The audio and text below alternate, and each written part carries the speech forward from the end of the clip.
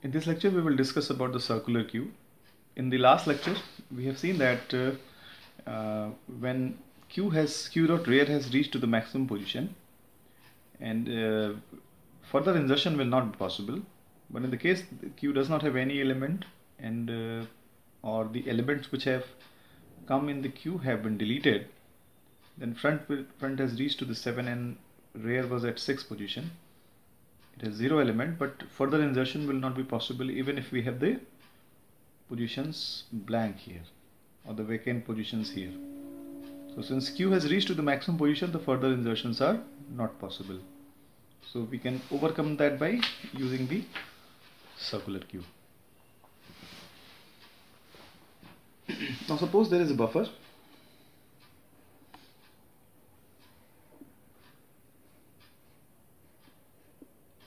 and in this buffer let's say mark the positions 1 2 3 4 5 6 let's say the rear and the front both have been initialized to the last position. Now suppose you have to insert an element. So for insertion of an element you simply follow rear plus 1 mod size. So size of this is 6 fine. So for insertion you're following this this rule. Rear plus 1 mod 6 so what will be this value? Rear plus 1 mod 6 this will be 7 mod 6 and 7 mod 6 will give you 1 so you can insert an item here. But there are some, some limitations of this. You will this formula might fail somewhere because of that we are actually taking the these uh, positions at not 1 2 3 4 5 6 let's say we're taking it to 0 1 2 3 4 and 5 fine. So for this let's say last position is 5 so 5 plus 1 mod 6 which is 6 mod 6 this gives us 0 so the rear will come here and then you can insert an item let's say x here. Next time again let's say you have to insert an element. So rear is updated by 1 so rear is at 0 plus 1 mod 6 this is 1 mod 6 which will give you 1 value. So you can insert an item here. Let's again you have to insert an element. So it is updated by 1 now 1 plus 1 mod 6 which is giving us 2 so you can insert an item Z here at 2 position. So this way you can see that whenever you have to insert an item, a rear is updated by 1 by the formula rare plus 1 mod size. Right? Now suppose you have to remove an element. So the removal process is also same. For removing an element, you update this friend. How will you update this front? Rear plus 1 sorry front plus 1 mod size. So front plus 1 mod size is the formula for updating this front. So front is at 5 plus 1 mod size means it is 6 mod 6 which is 0 so now uh, at the 0 position you can remove an element. So front comes here and you can remove an element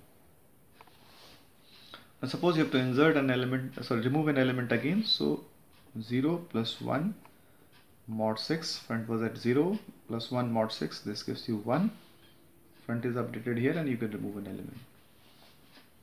Again, let's say you have to remove an element. So 1 plus 1 mod 6, front is at 1 position, plus 1 mod 6, this gives you 2.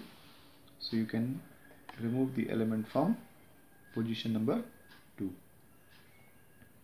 Fine. After the removal of this element, you can see that rear and front both are at the same position and this queue is empty, does not have any element. Initially also, rear and front both were at the maximum position that was at the last position and the queue was empty. Fine. So now let us write the operations. The first operation that we are writing is the initialization. So let's say we are initializing a circular queue. let's say CQ is the circular queue and uh, the rear of the circular queue and front of the circular queue both are initialized at the maximum position. So let's say max q is a position which is telling us the size of the queue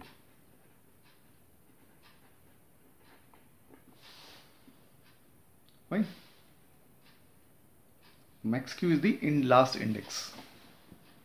So we have initialized both at the last position front and rear.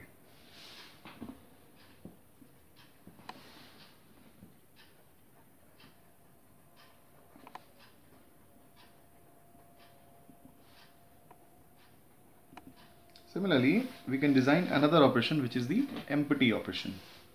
Empty means we just have to check if the given queue is empty or not. So let's say we have a function empty and in this empty we will check if the queue is empty. It can be checked by seeing if front and rear are equal. If front and rear positions are same, this queue will be empty. So if q dot front is equals to q dot rear, obviously this queue is empty. So since empty is a boolean value function, it will return true in the case where front and rear are at the same position. Otherwise it will return false indicating that queue is not empty, it can have some elements in the queue. So this is the algorithm for empty.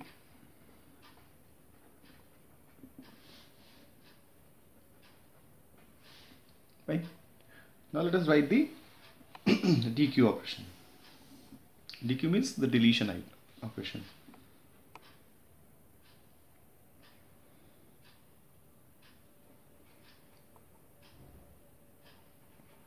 So dequeue from a circular queue.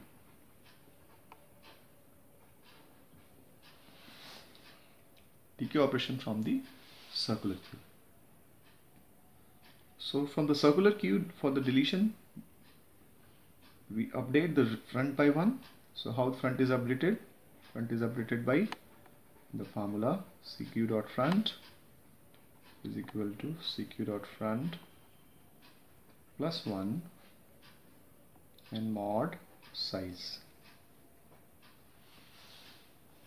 And then you save the element of the front position in some let's say x variable so from the buffer from front position you're taking the item in some x variable and then you are uh, returning this x variable. Fine.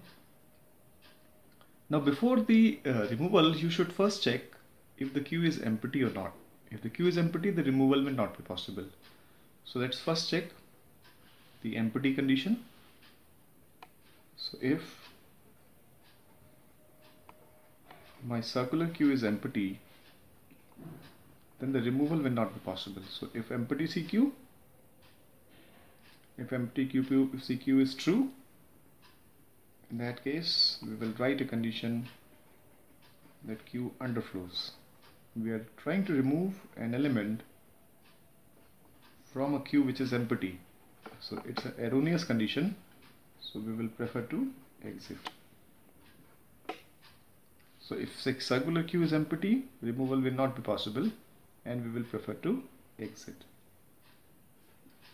In case this condition is true queue underflows and we will not attempt to remove an element.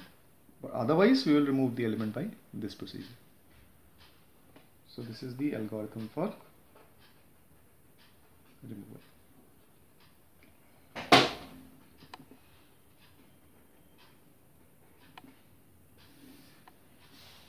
Now try to understand this. enqueue operation or the insertion operation. Suppose we have this queue and this queue we have tried to insert some elements. Let's say front and rear are at this position. We have inserted the element first by updating this rear. Again again. Again. Again. And let's try to remove some elements.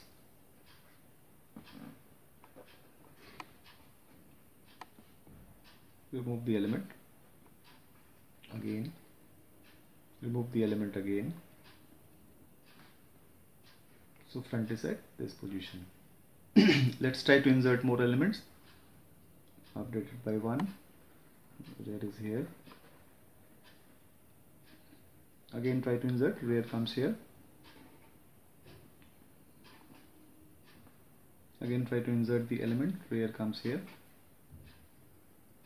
So now at this point of time rear is at this position. Let's mark the index 0 1 2 3 4 and 5 so rear is at one index and front is at two index. And if we try to insert more elements here rear will be updated and rear will come at 2 position. If we insert the element z here then rear and front both will come at the same position. And we've seen earlier that if the rear and front are equal this is the condition of empty so we cannot allow this to happen so in the insertion process if by updating rear it becomes equal to the front we cannot allow this to happen. It means if by updation of rear it becomes equal to the front, it is actually the condition of full queue and we cannot allow this insertions to happen. Try to understand it again. If by updating rear it becomes equal to the front, if we allow this to happen, the next time we'll, when we will check this queue, we, uh, we will observe that the queue is empty. Fine but it is not.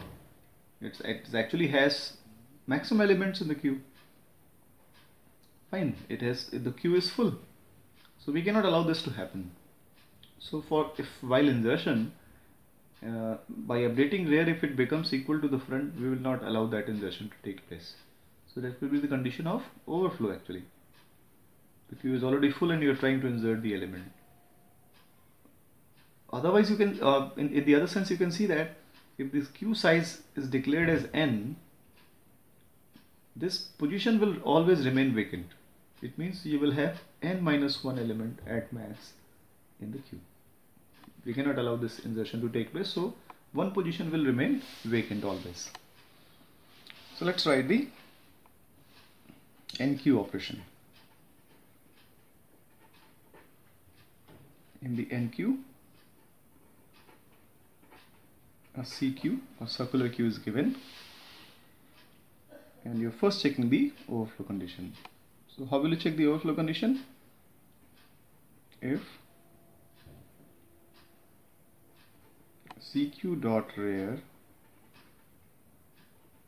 plus 1 mod size. You have computed this and if this becomes equal to CQ dot front if by updating the rear it becomes equal to the front then we you, you will not allow this insertion to take place.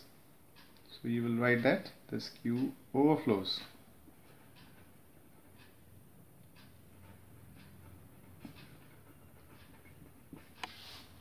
Right? In case queue overflows, you will prefer to exit. If by updating the rear, if it becomes equal to the front, you will not allow, allow this to happen. So here you can see that you've just done it mathematically, but you have not equated it with the rear. You have not updated the rear. You have just checked if the rear is equal, if by updating rear it becomes equal to the front. Fine. So in case this condition is true, you will not allow this insertion to take place. But otherwise, you will allow the insertion to take place. So for allowing the insertion to take place, you will update the rear. So cq.rear is equals to cq.rear plus 1 mod size. You're now allowing the insertion to take place. In the buffer,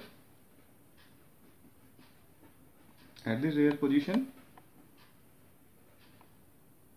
insert the element x. Suppose the x parameter is also given in the enqueue right so if uh, by updating rear it becomes equal to the front then you will not allow that insertion to take place. But otherwise you will update the rear and you will insert an item at the rear position. This is an algorithm. So let me write a keyword algorithm here begin here and, and end here. Thank you